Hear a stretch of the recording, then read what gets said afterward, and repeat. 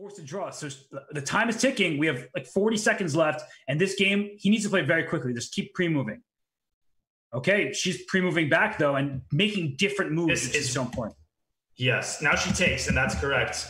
30 seconds left. Oh my gosh. Can oh you, my can you do this in time? He, she offers a draw. Oh, no. Oh, why? No, no. Don't do that. Don't, Don't, do, that. No. Okay. That's now we so classy, but but man, oh man, I mean, No. Oh my gosh, this is the final game. Unless there's a, oh my gosh. unless Christoph wins, and I love that he played the Benko. Benko, he has to go all in. There's nothing to lose. But Robert, I guess this is good. Knight B5 though. Oh, H4. She's Oh, playing man, for a H5. win. She's Knight playing for a B5 too. Knight B5, Queen A6, Knight C7 is interesting. Four No, pink. but there's a knight on E8, right? oh, what am Oh, I saying? no, no, no, no. But you're right. The bishop attacks the queen. bishop, another discovery. And that's what she does. Now Queen A7 though. Queen A7, and That then was is a there, bad move. Yeah. is there G4 coming? Like, what's happening on the king side? but I'm now so Black can play. D6. White's got to be careful not to overextend herself. Just take on A6 and play Queen E2. Just, just do that. I feel like that's the way. There it is. But Yeah. Christoph, the thing about the good thing for Christoph is now there's no more pressure of like getting one last game. This is the final game. Yep. So he needs to win this. He knows exactly what he needs. He can. Oh, Queen E3. I can't believe a lead. I mean, with 20 seconds left. Oof. So King H7, but then the Queen moves back. both of them. Yeah, King H7. You can't give that G pawn. Yeah, that, that's that's a bad one to give up because then Knight G5 and other stuff. But Queen F4. Now there's no threat. Knight G5, the king goes back to G8. So that's the good news for Christoph here. But his Knight on B8 stuck. I would play a move like Queen D3 or okay, Queen B6 makes sense. Just Knight A6. Just go.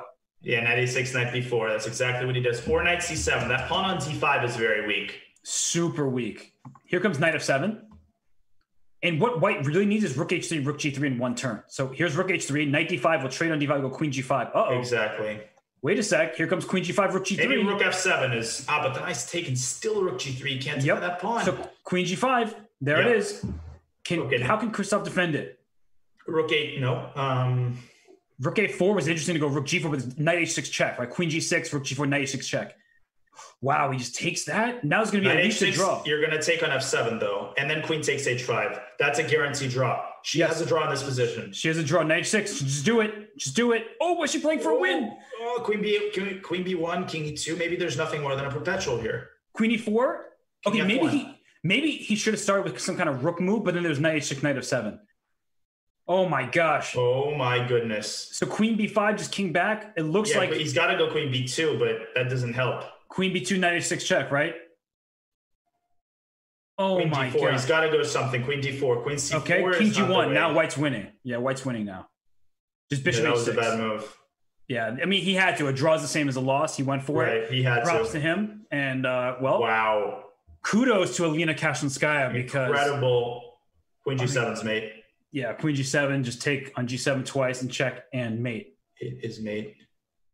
Oh my gosh, we were going absolutely crazy.